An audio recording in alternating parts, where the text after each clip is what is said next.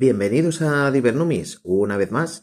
En el día de hoy trataremos una moneda con misterio. Estoy hablando de esta que tenéis aquí mismo.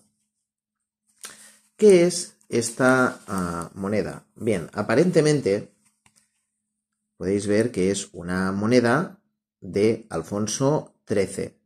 Existen otros modelos distintos ¿eh? que tendrán la misma situación.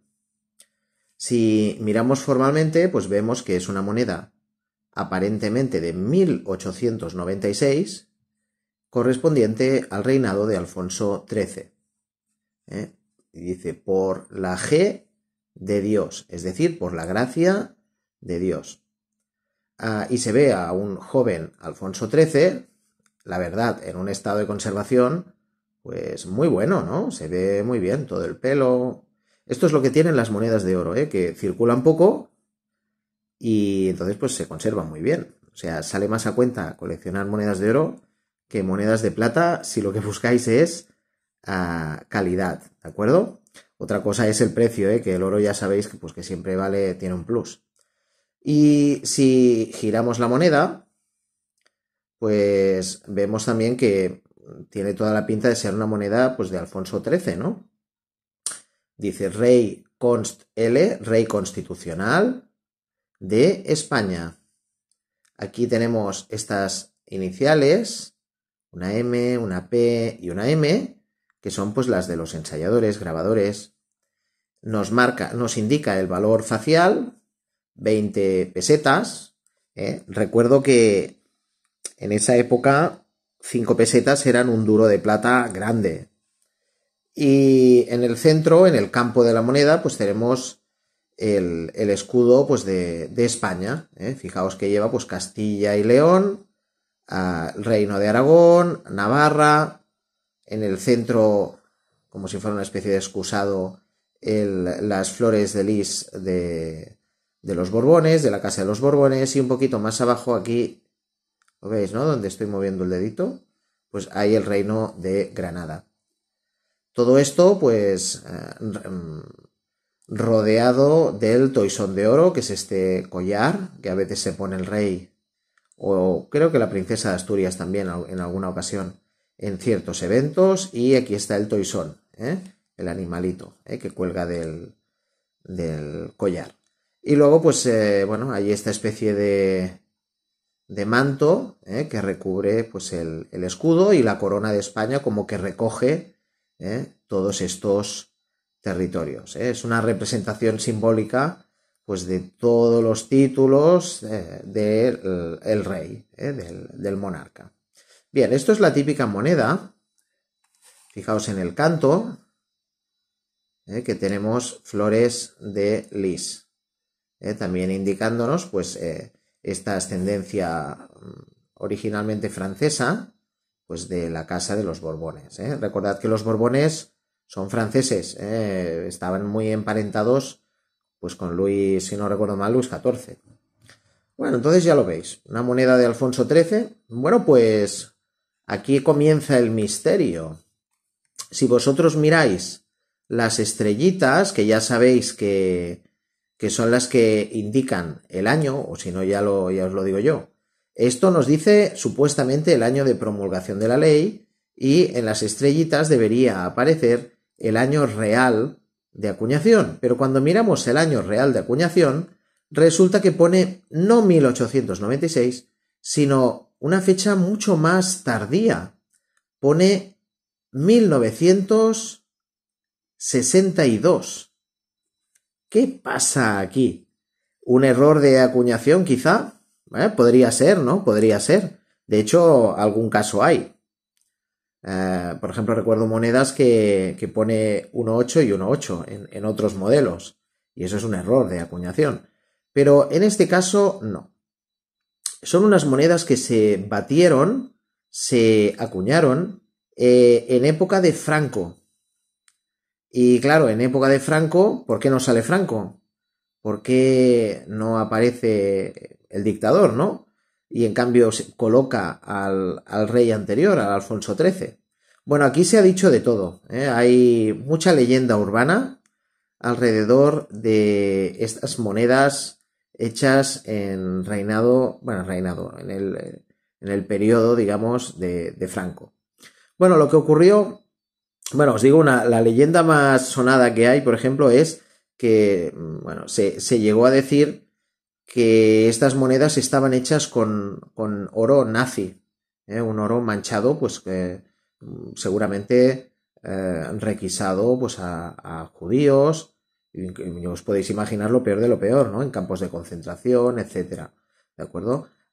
esta leyenda negra ha acompañado a, a, a muchas, a muchas veces a estas monedas, ¿no? Entonces, claro, ¿cómo puede llegar este oro a, la, digamos, a la Casa de la Moneda Española, ¿no?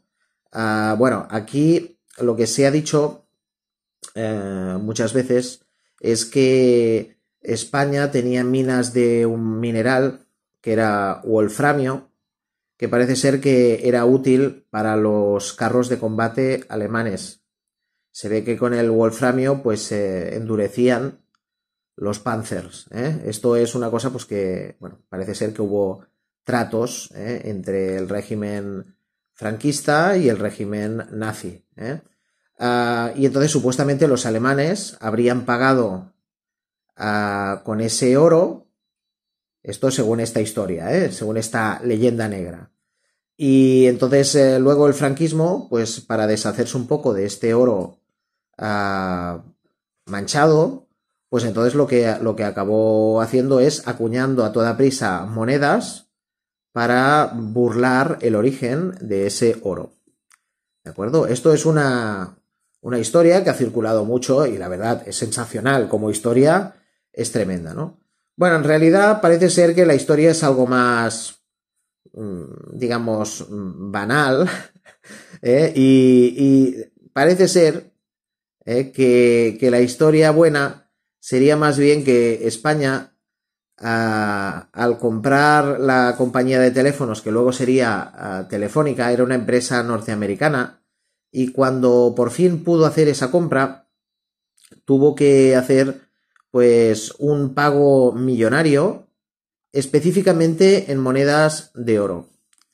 ¿Por qué se le pidió a España que pagara Telefónica con monedas de oro y no con pesetas, digamos, fiduciarias en papel, ¿no? Digamos los típicos billetes.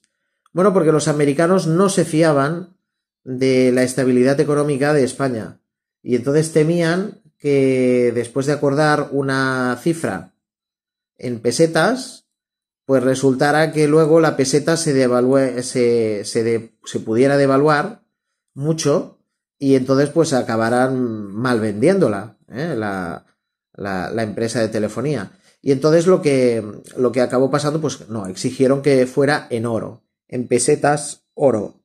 ¿eh? porque el oro ya alguna vez lo he comentado, el oro es una es, es auténtico dinero, digamos, el, el, oro mantiene muy estable su valor. Si veis que el precio del oro aumenta o baja, muchas veces no es que el oro suba o baje, que lo hace pero poquito, sino sobre todo que las monedas con las que compramos o vendemos el oro suben y bajan. Es decir, por ejemplo, si el oro sube de precio muchas veces es porque a lo mejor los dólares o los euros están bajando. Y si están bajando, pues claro, necesitamos más dólares o más euros para comprar la misma cantidad de oro. ¿De acuerdo? Entonces parece que sube el oro, pero en realidad muchas veces lo que ocurre es que bajan las monedas, ¿eh? o al revés. Eh, el precio del oro en general es muy estable. ¿eh? Cuando los inversores tienen miedo y no se fían de la bolsa, pues lo que hacen es comprar oro. Y bueno, entonces es una manera de evitar bastante los riesgos, porque el oro desde la antigüedad pues se, se aprecia y se valora mucho. Una acción del banco no sé qué, pues puede llegar a, valer cero si la empresa se va a pique, pero una moneda de oro siempre conserva un valor importante como ah, oro, ¿eh? por su metal eh, intrínseco. Entonces, pues bueno, le exigieron, parece ser, el pago por esta compañía en monedas de oro. Y entonces, ¿qué pasó? Pues que claro, que, el régimen no tenía tanto, tantas monedas para hacer ese pago. Y entonces pilló cuños que, antiguos, ¿no? De, de Alfonso XIII, de varias monedas, de hecho hay varios modelos, y entonces pues empezó a acuñar a lo loco para poder hacer este pago ah, mega millonario. ¿De acuerdo? Entonces esta pues es una de, de ellas. ¿De acuerdo? Entonces, claro, ah, el cuño es el antiguo y por tanto pues aparece Alfonso XIII, pero en cambio las estrellitas pequeñas de seis puntas que indican que está acuñada en Madrid, pues la fecha que llevan aquí sí pudieron retocarla y poner la fecha real, que era, pues en este caso, 1962. Hay un par o tres de fechas ¿eh? distintas en, estrellita. Eh, por tanto, bueno, tardaron un tiempo en poder acuñar ah, pues toda esa cantidad de oro. ¿De acuerdo? Por tanto, ya lo veis, ¿eh? moneda con leyenda negra que parece ser falsa, mejor en el fondo, porque daría un poco de repelús tener en las manos pues algo que, que pudiera tener pues eh, que ver ¿no? con, con, todo el expolio que se, que se hizo a, a, los judíos, ¿no? Injusto, ¿eh? claramente, durante pues, el régimen nazi. Mejor que no venga de aquí ese oro y, y bueno, que tenga una historia un poquito más, más curiosa, pero en el fondo más monetaria, ¿no? Pues es esto, ¿no? Que no se fiaban de España y le exigieron pues que pagara con, oro y no con pesetas, digamos, de papel. ¿eh? Pues bueno, espero que hayáis disfrutado. Uh, dadle a like si os ha interesado esta historia. Y nada, suscribíos, compartid, comentad. Uh, si tenéis más datos, pues no dudéis en compartirlos, porque siempre, Siempre es de agradecer que, añadáis información. Y nada, nos veremos en futuras ocasiones.